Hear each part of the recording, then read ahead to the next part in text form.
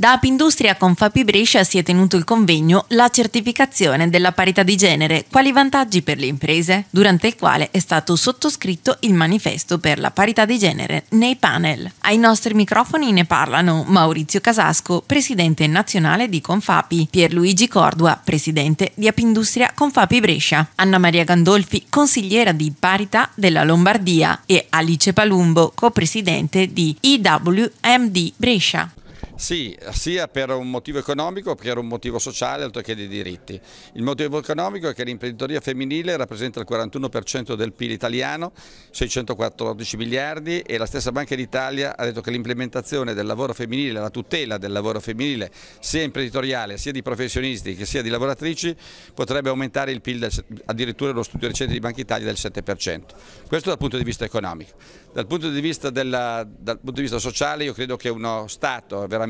libero, come noi ci proponiamo di rappresentare, debba garantire gli stessi diritti delle donne, soprattutto eh, delle donne lavoratrici in termini di maternità. Siamo al penultimo posto in Europa per crescita demografica, la natalità è un aspetto importante, non dal punto di vista solamente cattolico come io sono, ma dal punto di vista sociale ed economico. Dobbiamo pensare al futuro, le pensioni noi le risolveremo certe con certe scelte tecniche oggi, ma soprattutto si risolvono con un aumento della natalità. La nostra vita eh, aumenta di tre ore al giorno, quindi non possiamo permetterci di averci troppi anziani, dovendo prepararci giustamente di loro, ma anche dal punto di vista sociale saranno i giovani e quindi la natalità è un aspetto importantissimo dal punto di vista eh, sociale ma soprattutto economico. Dobbiamo tutelare la famiglia perché la famiglia è il vero welfare e la famiglia è rappresentata essenzialmente dalle donne e dalle madri, dalle nonne. Dobbiamo pensare a un lavoro che dia la possibilità alle donne di tornare a lavorare quando fanno i figli. Eh, il primo figlio delle donne italiane è 5 anni dopo rispetto a quelle francesi. Infatti i francesi hanno creato tutta una serie di interventi a favore dire, della natalità e delle donne. Dal punto di vista lavorativo una donna che fa dei figli deve avere diritto alla pensione, magari prende il tempo determinato, ma non solamente per quanto riguarda gli anni eh, di lavoro magari a tempo determinato per crescere i figli, ma deve averlo anche dal punto di vista dei contributi. Questo è un sistema veramente sociale che coniuga il sistema economico eh, da quello sociale. Noi insieme in Confabi, ma anche io sono presidente del medico della Federazione Amico Sportiva Italiana, abbiamo garantito da sempre gli stessi diritti alle donne, eh, sia nella partecipazione nei consigli di amministrazione, sia voglio dire nella vita ovviamente all'interno della, della, della realtà lavorativa,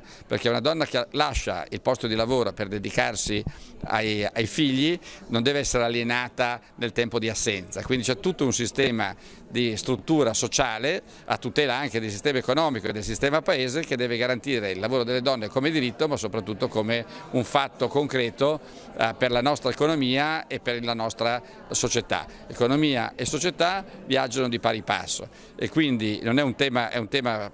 strategico, un tema di visione, è un tema prospettico, è un tema di serietà e di credibilità per un paese democratico e veramente, e veramente libero. Non deve tradursi in eh, ma in opportunità creando delle condizioni a, a 360 gradi eh, dagli asili nido alla scuola, eh, la possibilità che la scuola possa essere tempo, ad esempio a tempo pieno. E questo eh, interviene anche il concetto di scuola dove deve esserci un diritto alla libera educazione scolastica con un costo standard, quindi con la possibilità di dare alle famiglie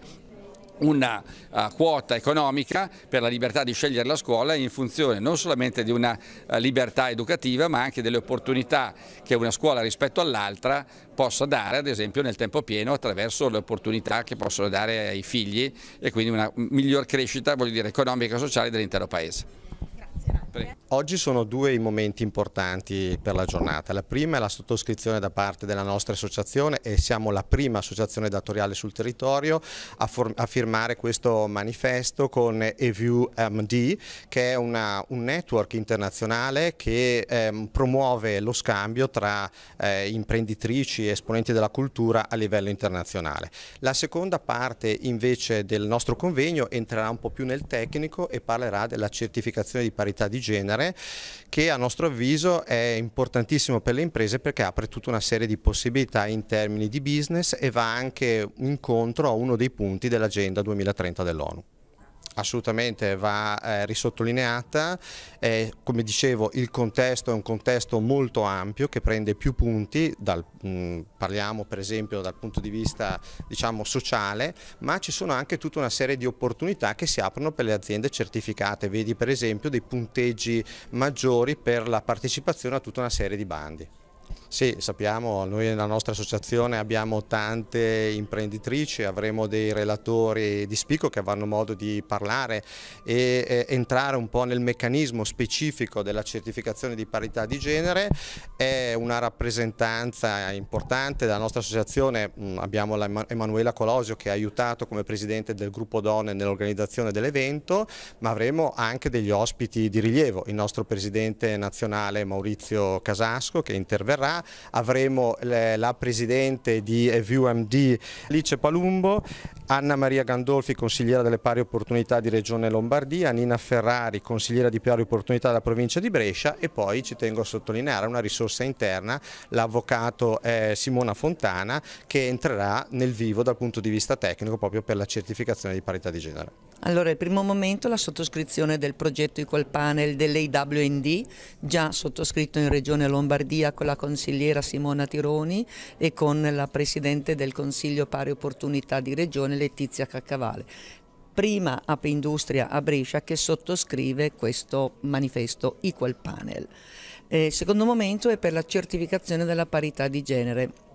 Anche qui devo fare i complimenti a App Industria perché è la prima associazione di categoria che parla della certificazione della parità di genere, che non vuole essere un'ulteriore certificazione così eh, all'acqua di rose, ma vuole raggiungere gli obiettivi dell'Agenda 2030, ossia aumentare l'occupazione femminile che ancora in Italia siamo il fanalino di coda in Europa. Dovevamo raggiungere 2020, nel 2020 il 60% di donne impegnate nel mondo del lavoro, purtroppo non ce l'abbiamo fatta. Non eh, al nord dove abbiamo picchi di 60-65% di presenze di donne nel mondo del lavoro, ma purtroppo nel sud dove abbiamo ancora il 70% di donne che non lavorano. Quindi la certificazione della parità di genere vuole aiutare le imprese in questo percorso di crescita di consapevolezza nell'assunzione di donne e il governo e Regione Lombardia aiuterà queste aziende che vogliono iniziare questo percorso.